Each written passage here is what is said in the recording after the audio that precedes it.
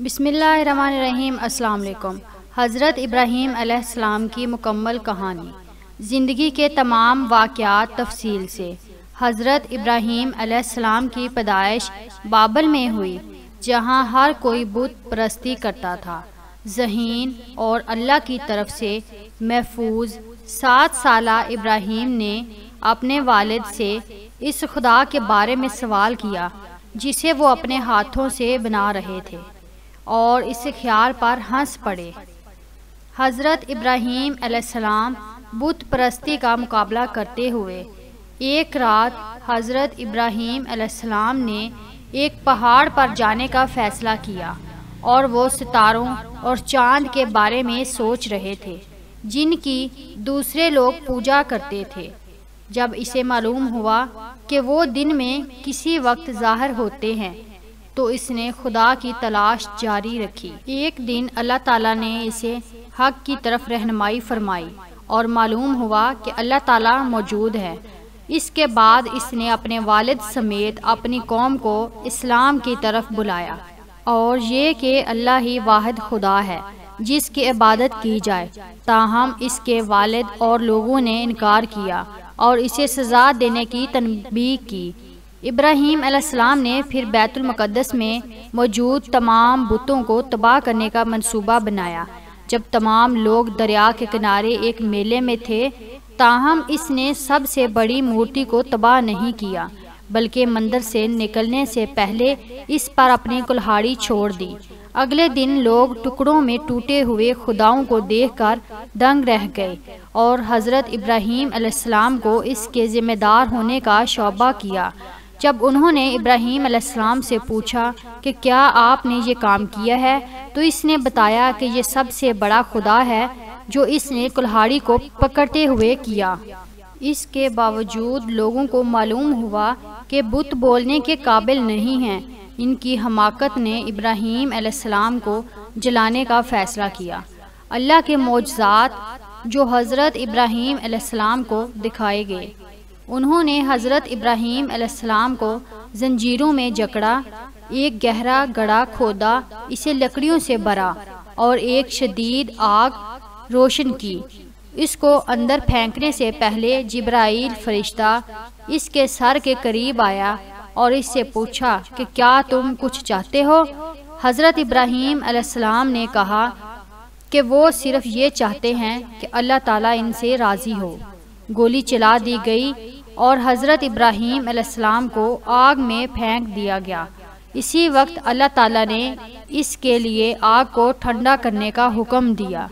आग ने अतात की और हज़रत इब्राहीम अलैहिस्सलाम बगैर किसी नुकसान के बाहर निकल आए।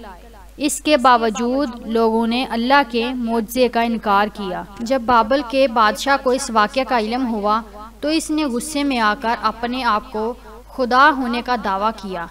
और हज़रत इब्राहीम अलैहिस्सलाम एक जल साज था। इसने इब्राहीम अलैहिस्सलाम से पूछा कि अल्लाह क्या कर सकता है, जो वो नहीं कर सकता। हज़रत इब्राहीम अलैहिस्सलाम ने कहा कि अल्लाह जान दे सकता है और ले सकता है। बादशाह ने कहा कि वो वाकई लोगों को मार सकता है और जान बचाने के लिए मौत की सज़ा को मनसूख कर सकता है। हज़रत इब्राहीम अलैहिस्सलाम ने फिर कहा कि अल्लाह सूरज को मशरक से तलू कर सकता है और बादशाह से पूछा कि क्या वो मगरब से तलू कर सकता है? बादशाह खामोश रह गया। लोगों को अल्लाह के बारे में तबलीग करने के बाद सिर्फ़ एक आदमी ने, जो बाद में इनके भतीजे लूत अलैहिस्सलाम थे और सारा नामी एक औरत, जो बाद में इनकी बीवी बनी, इन पर यकीन किया। तीनों ने बाबुल से मिस्र चले गए। लोगों को अल्लाह की इबादत करने इनकी मदद करने और अच्छे काम करने की दावत दी। फिर हज़रत लूत अलैहिस्सलाम ने बहिरा मरदार के करीब एक इलाके में हिजरत की। एक दिन हज़रत इब्राहीम अलैहिस्सलाम ने अल्लाह ताला से सवाल किया कि क्या क़्यामत के दिन मुर्दे कैसे वापस आएँगे? अल्लाह ताला ने इसे हुक्म दिया कि चार परिंदे लेकर इनको टुकड़े टुकड़े कर दो और फिर लाशों को मिला दो। फिर इसने इस मरकब को चार हिस्सों में तकसीम किया और हर एक हिस्से को चार पहाड़ियों की चोटी पर रख दिया। अल्लाह ताला ने हज़रत इब्राहीम अलैहिस्सलाम से कहा कि परिंदों को अल्लाह के नाम से पुकारें। फौरी तौर पर परिंदे अपने असल हिस्सों में दोबारा जमा हो गए, दोबारा ज़िंदा हो गए। हज़रत इब्राहीम अलैहिस्सलाम के बेटे हज़रत इस्माईल अलैहिस्सलाम। मिस्र में बाबिल का बादशाह एक आमिर था और इसने सारा को नुकसान पहुँचाने की कोशिश की। बादशाह ने इसका हाथ पकड़ने की कोशिश की, लेकिन इसका हाथ अकड़ गया और सारा से कहा कि अल्लाह ताला से दुआ करें कि वो इसे शफा दे। इसकी ख्वाहिश पूरी हो गई। सारा को पकड़ने की दूसरी कोशिश पर आपका हाथ फिर अकड़ गया और अल्लाह ने सारा की ख्वाहिश पर इसका हाथ ठीक कर दिया। फिर इसे मालूम हुआ कि सारा कोई आम औरत नहीं थी। इसके जाने से पहले इसने हाजरा नामी खादमा को इसके साथ जाने का हुक्म दिया। जैसे जैसे हज़रत इब्राहीम अलैहिस्सलाम और सारा की उम्र बढ़ती गई, मोहर अलज करने पैगंबर को हाजरा से शादी करने के लिए कहा और अल्लाह से इनके लिए इस्माइल नामी बच्चा पैदा करने की दरख्वास्त की। हज़रत इब्राहीम अलैहिस्सलाम, हाजरा और इस्माइल सब एक तवील सफ़र के लिए निकले और एक ऐसे सहरा में पहुँचे जिसमें खुराक, फल और पानी नहीं था। फिर हज़रत इब्राहीम अलैहिस्सलाम ने इनके लिए दो दिन के लिए कुछ खाने पीने का पानी छोड़ा जो वो अपने साथ लाए थे और इन्हें सहरा में छोड़ दिया। हज़रत हाजरा के पुकारने के बावजूद कि इसने ऐसा क्यों किया? वो जान गई कि ये अल्लाह की मर्ज़ी थी। वो जानती थी कि अल्लाह ताला इनके साथ है। जब पानी का आखिरी कतरा ख़त्म हुआ तो हज़रत हाजरा को बहुत प्यास लगी और बच्चा रो रहा था। वो अल सफ़ा और अल मरवा के पहाड़ों के दरमियान सात बार दौड़ती रही, ताकि अपने बच्चे और इसके लिए किसी और की तलाश में हो। जब वो थक कर वापस अपने बच्चे के पास बैठने आई तो इसने एक शोर सुना। इसने मदद मांगी और देखा कि एक फरिश्ता पानी निकालने के लिए गड़ा खोद रहा है। इसने पानी को ज़मीन से घेर कर जमा किया, पानी पिया और अपने बच्चे को पिलाया। और अपने बच्चे को वो पानी पिलाया, वो पानी दूध बन गया। वो पानी जमजम था।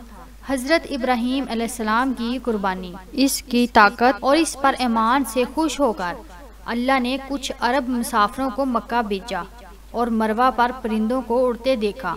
उन्होंने हज़रत हाजरा और इसके बेटे को देखा और इससे पूछा कि क्या वो इसके साथ मिल सकते हैं? वो मान गई। जगह बदल गई और मुसाफर अब जमजम के आसपास रहने वाले बन गए। फल लगे और जगह जानदार हो गई। एक दिन हज़रत इब्राहीम अलैहिस्सलाम ने ख्वाब में देखा कि वो अपने बेटे को कुर्बान कर रहे हैं, जो अब बड़ा हो चुका है। अगली रात अल्लाह ताला ने इसे वही ख्वाब दिखाया। इसके बाद वो अपने बेटे को अपने ख्वाब के बारे में बताने के लिए सहरा में चले गए। और इस्माईल अलैहिस्सलाम ने अपने वालिद से कहा कि अल्लाह के हुक्म को पूरा करें। जब हज़रत इब्राहीम अलैहिस्सलाम ने छुरी उठाई तो शैतान उनको रोकने के लिए आया, ना कि अल्लाह के हुक्म को पूरा करने के लिए।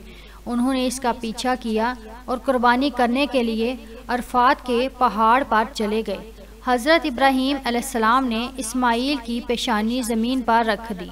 इस वक्त अल्लाह ताला ने इस्माइल के बजाय एक बेड़ नाजल फरमाई, क्योंकि इसका हुक्म पूरा हुआ। हज़रत इब्राहीम अलैहिस्सलाम की कुर्बानी, काबा की तामीर और इनकी वफ़ात।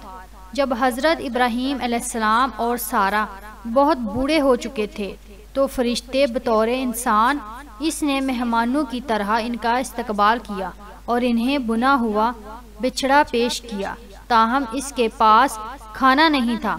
फरिश्तों ने इसे ऐलान किया कि इनके यहाँ बेटा होने वाला है। इस वक्त तक हज़रत इस्माईल शादीशुदा थे।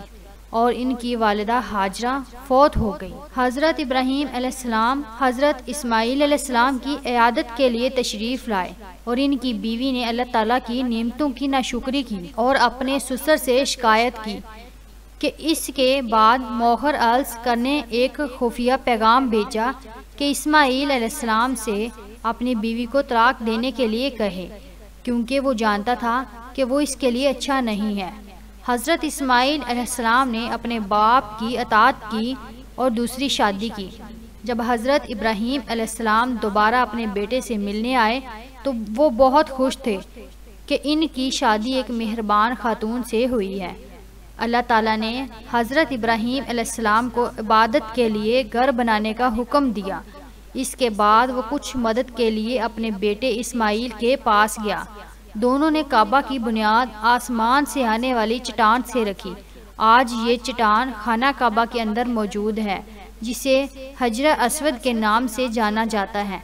उन्होंने इसे बताना शुरू किया और जब दीवारें ऊँची हो गईं तो हज़रत इस्माईल अलैहिस्सलाम अपने वालद के लिए एक पत्थर लाए, जो इस पर खड़ा था। इस पत्थर को मक्का इब्राहिम कहा जाता था। खाना काबा ख़त्म हुआ और वहाँ सबने इबादत की। हज़रत इब्राहीम अलैहिस्सलाम एक सौ पचहत्तर साल ज़िंदा रहे और जब इनकी वफ़ात हुई तो इन्हें हेब्रोन में दफन किया गया। बेहतर समझने के लिए ये वीडियो देखें।